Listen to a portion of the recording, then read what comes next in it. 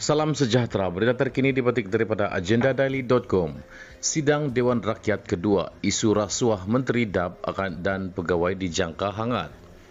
Mesyuarat kedua penggal kedua Majelis Parlimen ke-15 Dewan Rakyat bersidang selama 11 hari bermula hari ini sehingga 15 Jun depan. Dijangka isu melibatkan rasuah pegawai dan Menteri DAP baru-baru ini bakal menghentikan sidang Dewan Rakyat selepas tiada tindakan susulan diambil melibatkan kes yang mendapat perhatian umum baru-baru ini. Selain itu beberapa persoalan mengenai kos perbelanjaan rumah terbuka Idul Fitri yang dianjurkan kerajaan campuran di beberapa negeri juga dijangka menjadi topik yang akan dibangkitkan blok pembangkang. Kegagalan kerajaan campuran dalam menangani isu kos sara hidup dan ekonomi rakyat juga akan menjadi persoalan yang perlu dijawab oleh Menteri selain kenaikan taraf elektrik yang diumumkan baru-baru ini.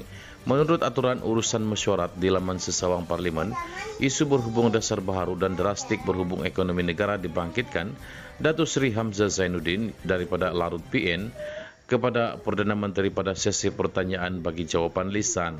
Pada sesi sama, Datuk Seri Taqiyuddin Hasan, Kota Baharu PN, turut bertanyakan Perdana Menteri sama ada kerajaan bercadang untuk menggubal akta pembelaan awam bagi menyediakan perkhidmatan bantuan guaman untuk kes jenayah di negara ini agar rakyat yang kurang berkemampuan turut mendapat akses kepada keadilan dan pembelaan sewajarnya.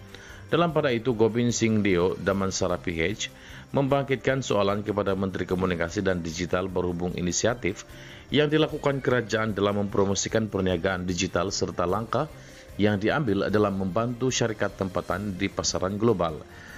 Menteri Pertahanan pula dijadwalkan menjawab soalan Datu Sri Iqmal Hisham Abdul Aziz Tanah Merah PN mengenai kesiapsiagaan aset pesawat Sukhoi 30 MKM milik Tentera Udara Diraja Malaysia khususnya melibatkan alat ganti jet pejuang berkenaan berikutan sekatan ekonomi negara barat-barat terhadap Rusia yang merupakan negara pengeluar asal pesawat terbabit.